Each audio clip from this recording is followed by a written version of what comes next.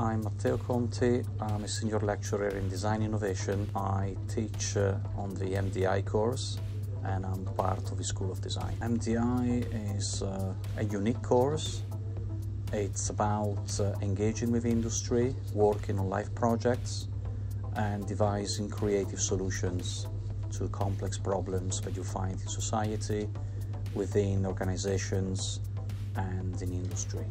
The students uh, work uh, in a kind of co-creation environment. Normally they work in teams uh, on those live projects uh, and they have a quite an intense uh, academic year as projects uh, vary in nature but they span across the three semesters of, of the program.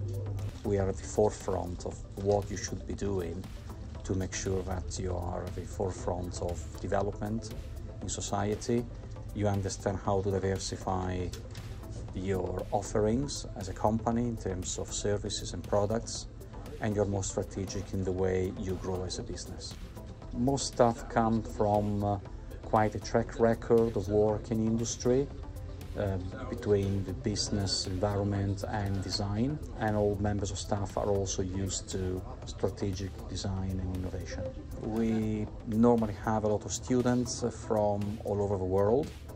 Uh, we value that, and at the same time, we have students from a business, marketing, design, fine art, engineering backgrounds. But we accept almost anybody who would have a good degree and a really interest in innovating and understanding what strategic design and innovation means. We work for uh, uh, high-level multinational companies like Mars.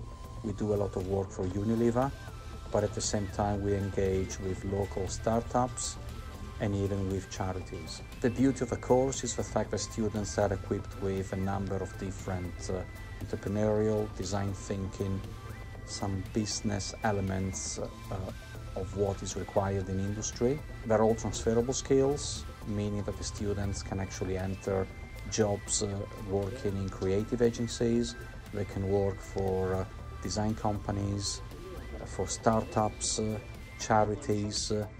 It's, it's a really broad church.